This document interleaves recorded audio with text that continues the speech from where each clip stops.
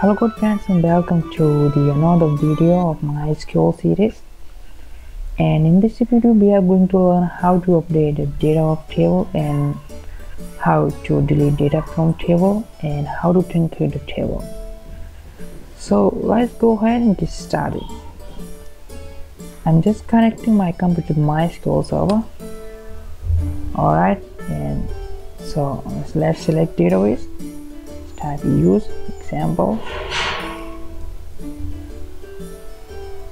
enter. And let's have a look at table. Tab select. Start from users. Here is our table.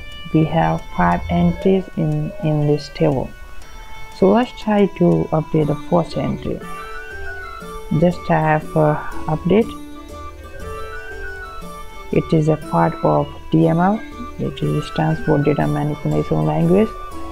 And we are going to update the data for the first entry update uh, users. Alright. And then what we want to update actually we need to tab the value. It's like I am updating the first entry I want to update vanilla to vanilla just type set. The name of the field you want to update. Equals. Type in single quotes or double quotes because it is a string.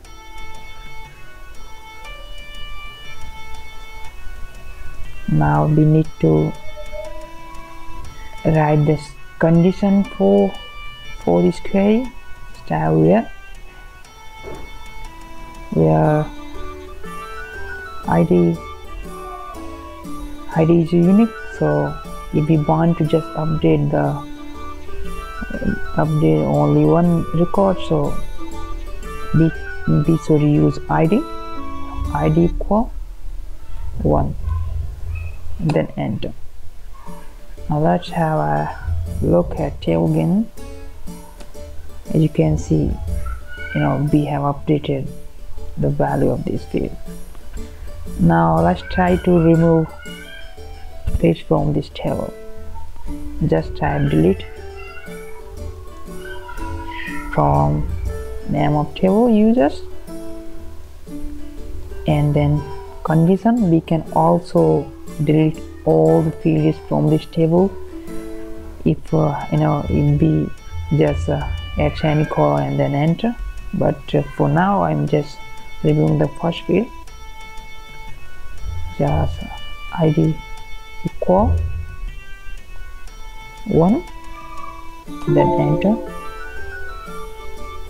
Alright just uh, made a silly mistake. Just type where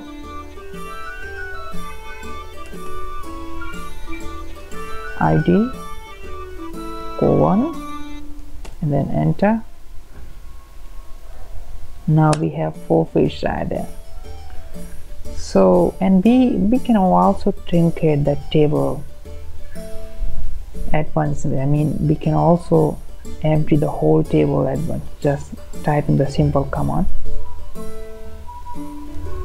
Truncate the name of table and then enter.